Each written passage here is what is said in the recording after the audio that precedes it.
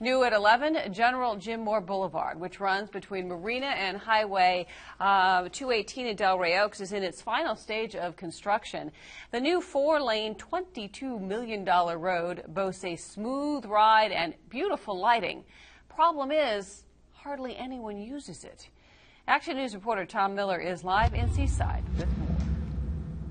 And Aaron, right now the road is pretty much empty. As you can see behind me, the lights really stand out at nighttime. The thought is, you know, there's a lot of electricity keeping these these lights going at nighttime. But the developers say this is all part of their big plans for the former Fort Ord. General Jim Moore Boulevard is a gorgeous stretch of road running three and a half miles between Marina and Highway 218 in Del Rey Oaks. It costs $22 million to build, a price Fort Ord Reuse Authority executives say is standard. State of the art uh, construction project. It's not uh, anything more. It's not a uh, Cadillac type project beyond uh, any other road that we've done. It's been paid for in part with $9 million in federal grants. That money covered costs for things like the more than 200 lamp posts dotted along the road.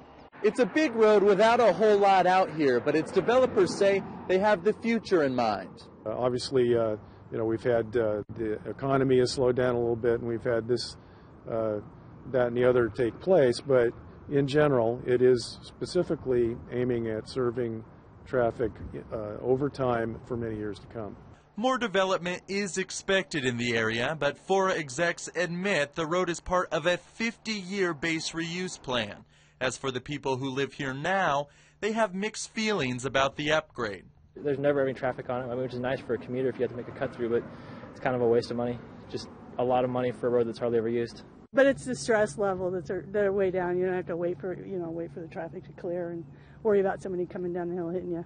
For now, General Jim Moore Boulevard is the road less traveled. Only time will tell if it eventually becomes the major traffic artery its developers envision.